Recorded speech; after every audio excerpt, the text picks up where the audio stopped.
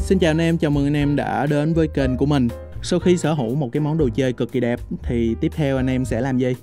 Chụp một loạt hình để có thể khoe với mọi người hay là ngắm nhìn cho đã rồi bắt đầu tách ra để có thể kết tâm lại. Còn đối với mình thì mình sẽ nghĩ ra cái cách nào để có thể trưng bày cho đẹp nhất.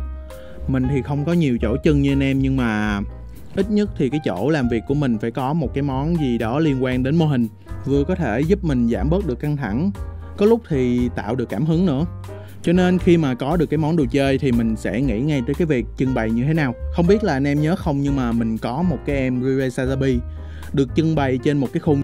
Cảm hứng để làm được như thế này thì rất là lâu rồi. Ở trong một tích tắc thôi, mình vô tình thấy được một cái ông người nước ngoài.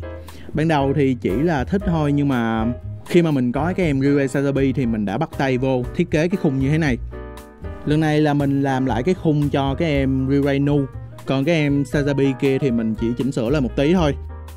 Bắt đầu từ phần kích thước thì mình chọn khổ A4 cho nó phổ thông nhất. Tiếp theo là xếp cái em Gundam với lại mấy cái đống phụ kiện vô.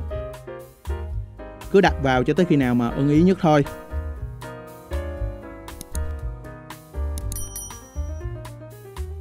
Tiếp theo là cái bước khó nhất, đo toàn bộ kích thước sao cho nó phù hợp. Chỗ này là tốn rất là nhiều thời gian của mình. Đo mọi thứ, nốt lại mọi thứ luôn. Bước tiếp theo dùng phần mềm để vẽ lại. Lúc này thì mình sử dụng cái bản can ở trên web để cho nó chính xác. Đối với bước này thì anh em phải biết một tí về cái phần mềm thì mới vẽ được. Không biết là mang ra ngoài thì người ta có vẽ đúng như ý mình không nữa?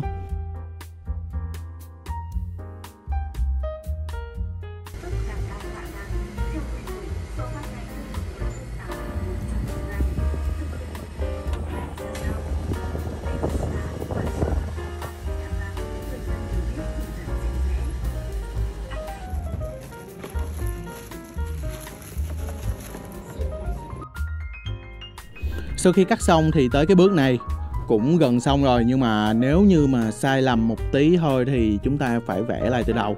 Kinh nghiệm của mình thì chắc cũng sai ba bốn lần rồi.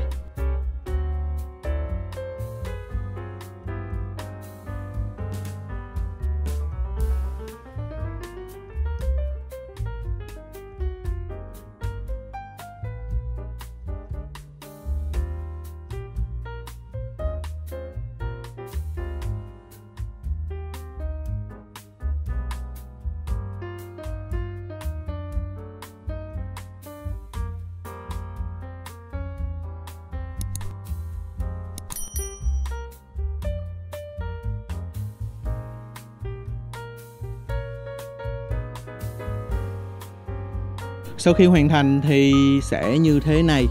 Mấy cái món phụ kiện sẽ được để vô đây, không có bị rớt ra ha. Hàng này là cây nhà lá vườn cho nên chắc chắn sẽ có sai sót, nhưng mà ở trong cái tầm chấp nhận được.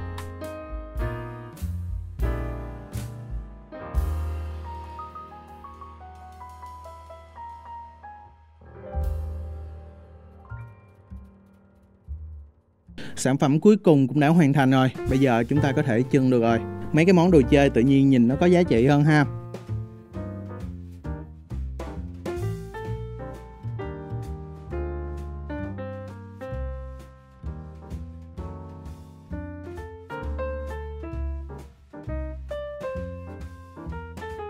Video của mình thì chỉ có muốn khoe vậy thôi.